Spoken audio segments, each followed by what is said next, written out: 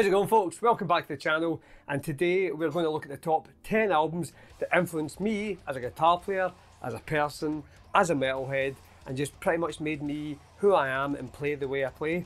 So you're probably thinking, oh, it's just going to be a load of bands and uh, albums that you've done loads of covers on and uh, yeah, you'd be right, it, it pretty much is because that's why we do this isn't it? But anyway, we will check it out. But before we do, if you've not subscribed, and I know there's a load of you who haven't subscribed, please hit that subscribe button, join the channel, help share it about, and uh, I'll be eternally grateful because it really does help out. So let's just get into this. It's in no order in general, it's just 10 albums I that I love and that have helped influence me, as I said. So album number one is Pride and Glory by Pride and Glory. Now we all know I'm a massive Zakk Wylde fan, so it's absolutely no surprise to anybody that this is up there. But, well, this could be maybe the top album of, of mine of all time. It's just got everything in it. It's got big riffs, it's got great singing, it's got banjos, it's got harmonica, it's got piano, it's got ballads, it's got out this world solos. I mean, there's just riffs like this.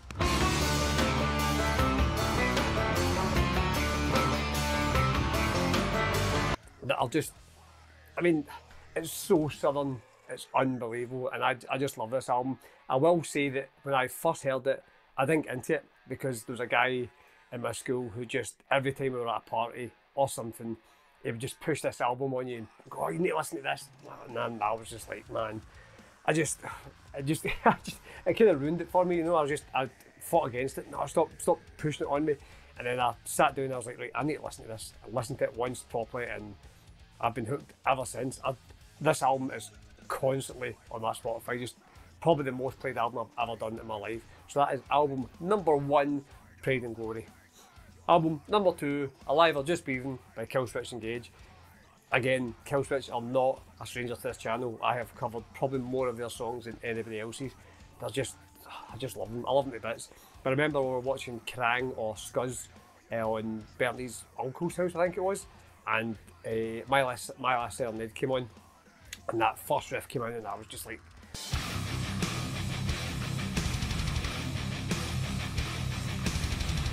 So heavy, and I was just right into like just Pantera grooves and then just Jesse's vocals came in and they were again heavier than pretty much what I'm used to I was used to listening to.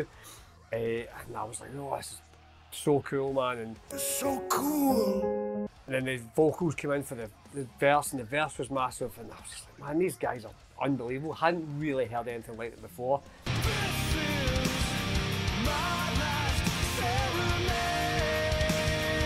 This was before like uh, like the new wave of uh, American heavy metal over here, the metalcore from back in the day, um, really came over here. So I was just kind of blown away. And then we were drinking that night, and I forgot all about them. So it wasn't until I must have been a, a, later on that year, a year later or something, a guy from one of my old works had bought the album, didn't like it, and gave it to me, and I was like, "Who these guys?" Kind of recognised the name, wasn't 100 percent sure, and. Uh, stuck it on, and a Number of Days came on, and I was just like, oh, man, what a song that intro! And I was just like racking my brain.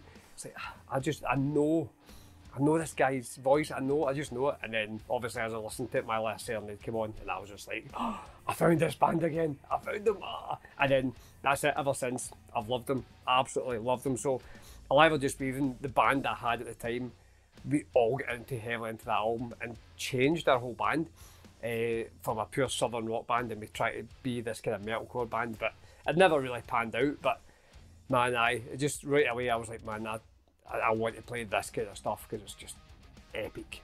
Album number three is a Burn My Eyes by Machine Head.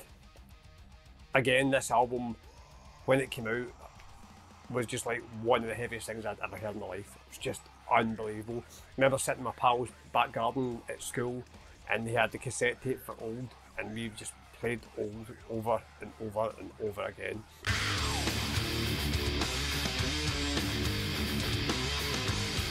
It was so heavy, it was so raw, it was so pissed off sounding, and the guitar tone was bigger and heavier than anything we knew back then. I mean, I think they probably, I probably shot for this, but the pioneers of the 5150 sound because Burn My Eyes is just un unbelievable. it's just massive. And Old was so good, and then we got to Davidian, and that that drum fill at the beginning. I mean, it's just iconic. That drum fill was just absolutely iconic. So that starting off the album, we first we got the album after obviously hearing Old, and um, it was just I was just blown away by the heaviness and like I said, how raw and pissed off they sounded on it. So I that was that was pretty much Burn My Eyes for me. I was just on a, a, a thing of going this album made me want to go heavier, listen to heavier stuff from what I was back then, you know. So Burn My Eyes definitely a, a gateway to me going, let's let's listen to heavy shit. so album number four, to tie in with number three, is The Blackening by Machine Head. Again, this was an album that when it first came out, I kind of hadn't fallen off the Machine Head train. I kind of still liked all the Burning Red stuff and that. But when this came out, it made me just go, Christ, they're back, they're pissed again. And they, they just, the guitar work in that album blew me away. Like the harmonies and aesthetics to hate. And just like the big slow riff in Halo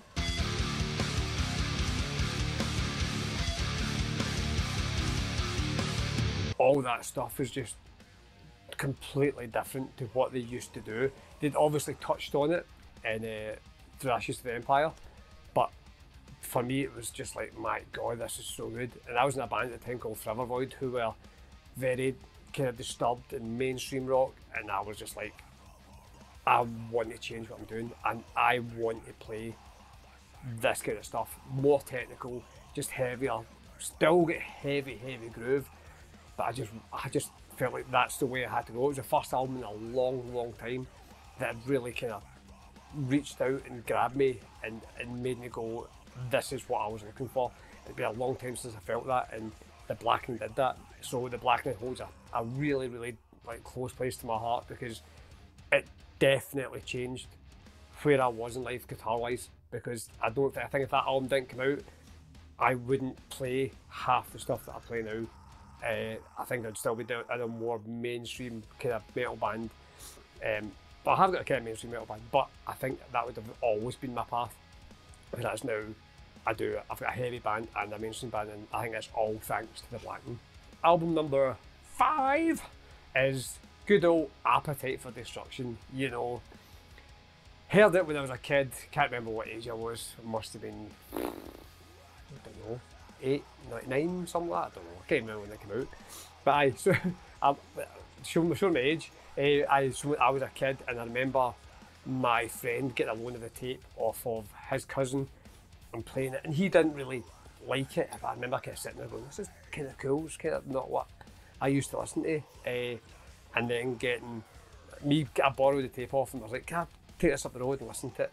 So I took it, I took it home, and then just had it on, and just was just blown away by it. Again, it was like I'd never listened to anything that kind of angry and raw sounding and just pissed and I just I was like, man, this is just so cool. It just did something to me. I was just like, oh man, it's amazing. And obviously you've got the iconic like Sweet Child O' Mine intro.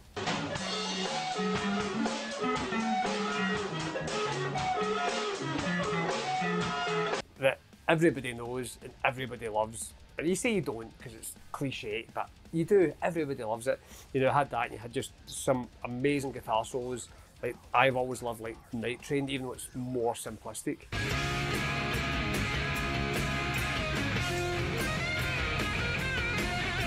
But I've always loved that solo. It's just really, really cool, and I've always loved that song. And just there was other songs in there that just kind of My Michelle and just Rocket Queen as well. Just grabbed me, and I was just had I'd never listened to anything before. So it was that album made me go, I want to do this. I want to pick up the guitar, and I want to play this stuff. So thanks to Guns N' Roses and Slash, you need to sit through my drivel so you can blame them. But I, Appetite Destruction, I think it's probably a gateway album for a lot of people who play rock and metal guitar, and it certainly was that one album for me that made me want to play guitar. Album number six, six, whatever you want to do, six. Album number six is Andy James by Andy James. This was the first album I think that I ever bought that was an instrumental album. Uh, I remember, I think it was on EMG TV, see him play Angel of Darkness.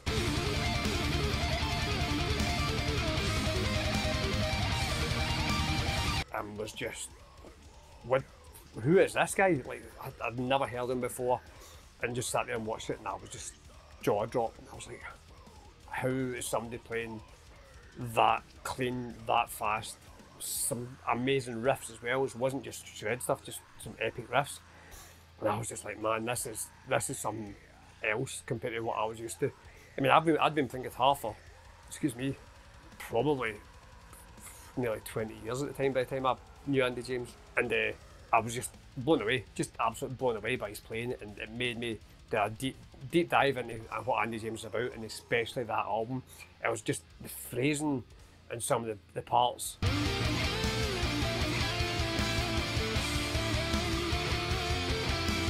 The melodies he had, the shredding parts and his riffs, but these were all songs that were cohesive songs. Like the guitar just took over from the singing. It wasn't just shredding for the sake of shredding. It was all cohesive songs, and it was a first album that got me properly into instrumental music. Like I listen to like Angel Vivaldi and Nita Strauss and that now, and I, I don't think I'd ever listen to them properly if it wasn't for that Andy James album. He's, he's brought out some other amazing albums since then, and also I, it got me into his band Sacred Mother Tongue as well, because Sacred Mother Tongue were just amazing. Uh, just got got a chance to uh, support them, luckily, uh, on their on their final tour and, and meet Andy. I've met Andy a couple of times, and he's a, a lovely, lovely lad. And I'm, I'm so happy to see how how like big he's got and how well he's doing with Five Finger Death Punch. But Andy James, Andy James, if you're not in, into instrumental music, but you're into guitars, just go and check that album out. It's fucking phenomenal. Angel of Darkness, Separation, Gateways. I can't remember the, some of the names, but just the songs are so good. It is, to me, the pinnacle of guitar shred music. It's probably quite a praise, but for me, that's what it is. Album number seven is Blackbird by Alter Bridge. Now, the first album came out, and I was I was a Creed fan. Hands up, I don't care. I'm a Creed fan. I love Creed.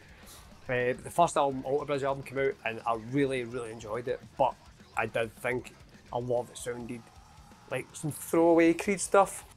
Uh, obviously, there's songs on it that were uh, they're starting to get their sound, but it wasn't until Blackbird I think they found their sound because Myles started playing guitar properly with them as well and writing stuff and writing solos. And Blackbird to me is just one of the best rock albums ever written. Myles' voice is unbelievable in it, unbelievable. Still think he's one of the best rock singers out there. Uh, and uh, Myles, uh, Mark's guitar work, sorry, it's just amazing. Like the intro for Blackbird.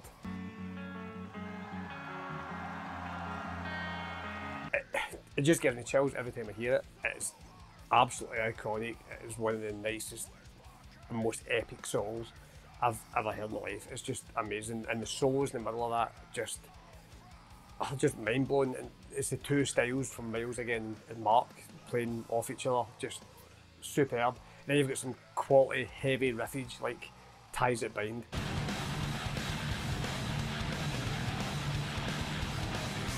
And uh, White Knuckles, just fast riffs that are great and heavy and fun. And I definitely think this was the album that they found their sound on and started uh, changing and, and getting bigger from that. Think Blackbird hadn't happened.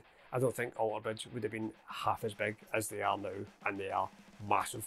But I love that album. It's amazing. Again, it'll hold a, a big part of my heart because it made me, even though I was wanting to play heavier stuff, it wanted me to bring the, those melodies and those softer parts into those songs as well, just so I had better dynamics. So album number eight is from the local band, the local boys, Bleed from Within, and it is the album Era. Now, that's E-R-A, not error. It's just my accent. E-R-A, Era.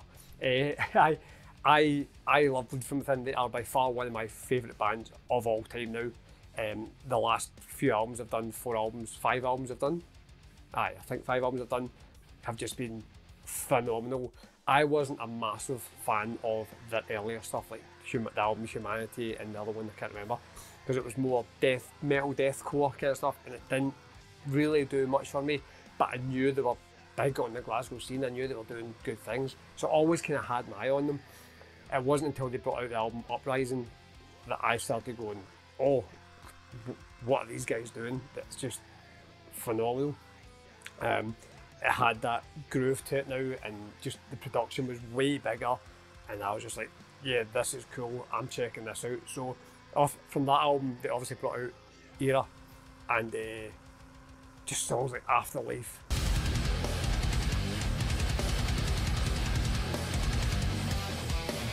And uh, Bed of Snakes, like that chorus in Bed of Snakes is just.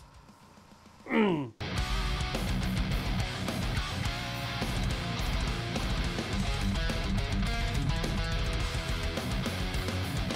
That album like had it on religiously, absolutely religiously when they had when they um, when they brought it out. I had never heard a band do melody and heaviness the way they did on this album. It was just completely different from anything else they had done, and it was a, such a massive step up. Even from Uprising, I think it's a, such a massive step up, and I think Stephen coming into the band really helped that because his sense of melody and clean vocals and, and all that kind of stuff helped bring that band into another level. Just such a phenomenal album. Not a bad song on it. In fact, a couple of the B sides that were on it, I don't understand why they weren't on the album because they were just phenomenal. But I Era by the Bleed from Within Boys is um, just an ultimate album. It just it, it, I don't think you can explain. You can't ever explain the words to somebody that when an album t- like just grabs you that that way that it just it makes you so happy and every time you hear it, it just takes you back to that place when you first heard it, and you just, just goosebumps again, man. Here standing up, just thinking about it. Just what an album! Well done, boys. Well done. So album number nine is Vulgar Display of Power by Pantera. I mean, we cannot leave Pantera off this list. We just can't. Pantera and Dimebag has been such a massive influence on me and my playing. That southern stuff, but keeping it heavy, it's it's what I I try to do a lot. I, I, always want to have groove, but have heavy riffs. I just it feels you can you can make stuff as heavy as you want, but if there's no groove to it, uh, it doesn't do much for me, you know. So Vulgar Spirit of Power for me was a band at their peak doing that. But that and Far Beyond Driven, a band who just killed it, getting heavy riffs but groovy as hell. I mean, we all know Walk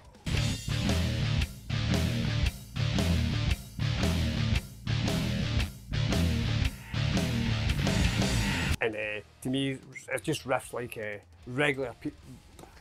Try that again. It's just riffs like regular people.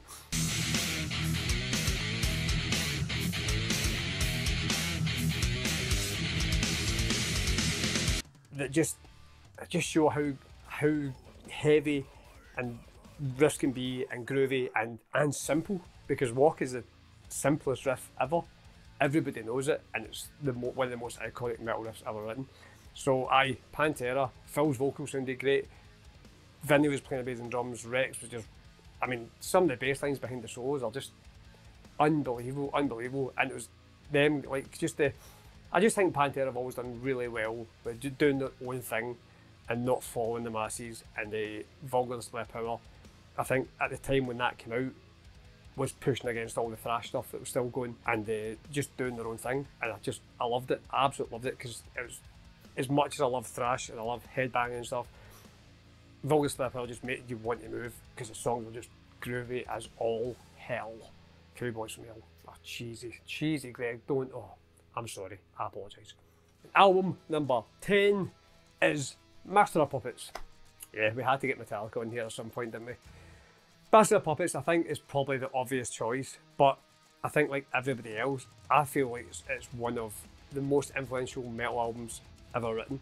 It's just everything about that album, how tight it is, how good it sounds, that the songs on it, even though they're long, don't feel long, which is to me is a sign of great songwriting. And uh, it's just stuff like, you know, the bass roll from Orion. It just shows Cliff's knowledge of theory and the wee kind of harmony bit that goes after it. It's just unbelievable. It's such a good song, and there's just some absolute dynamite riffs on there.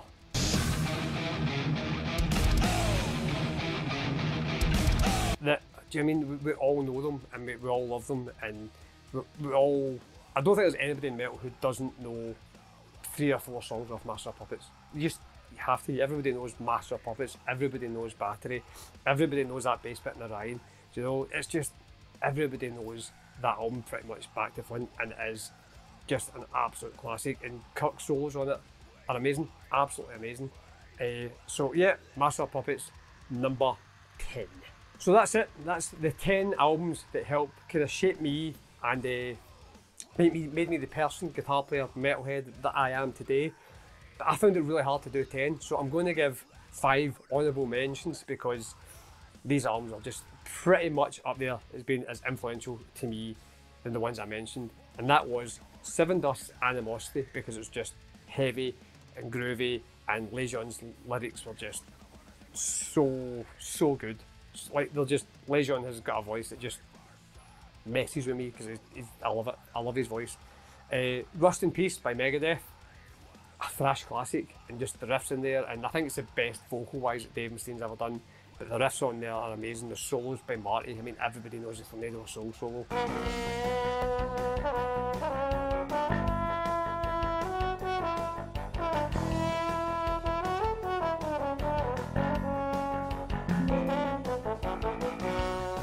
It's phenomenal. I was going to swear there. I'm trying not to swear. It's just so good, and everybody knows like Marty Marty Friedman was just unbelievable. Him and Nick Menza, just that was Me- that was Megadeth's best best lineup ever. We have to say it. Sacrament by Lamb of God, another amazing album. It was a band. It was a band. It was the album that got me into Lamb of God and the grooves and the heaviness, but wasn't as influential as me as stuff like Forward Square Power. Deliverance by Corrosion of Conformity was another one that was massively, massively, cannot speak, massively influential. Again, just Southern Grooves. I love a Southern Groove. I love a Southern Groove, and no one really did it better than Deliverance by Corrosion of Conformity. And last but not least, Conclusion of an Age by Sylosis. What an album. I remember I didn't really get into them till quite late. I think they were just bringing out Monolith when I started getting into them. And uh, I was so surprised that people were still tuned to E standard and still playing, still making everything that sound heavier than everything else that was out there. And that tight, and Josh's playing is just unbelievable. Uh, Jamie's vocals on it are tremendous. Uh, but I, like I said, the, the guitar work on that album was so good, and I was so surprised it was an E standard because it sounded so heavy. And I was like, who plays like this? And now I am Josh's biggest fan ever. No, probably not because I know some other guys who are by far a bigger fan of Josh than I am, but I, I love Josh one. He is so good and has definitely helped me try and be a better guitar player because the stuff I try and cover, I try and cover some of stuff, it's just so tough all the time. So yeah, there you go, five honourable mentions. So that's it guys, thanks very much for tuning in. What were your favourite albums? Any of the 10 that were on mine, or the 5 honourable mentions, are they in your top 10 albums that influenced you to do what you do, or just whatever? And uh, as always, if you liked it, please press like down the video. If you want any other videos like this, let me know as well in the comments. And if you've not subscribed, please subscribe to the channel and uh, check out some other videos. Uh, and we'll do more stuff like this, and we'll do more covers, and we'll do other good stuff. And I will see you again for another one. See ya!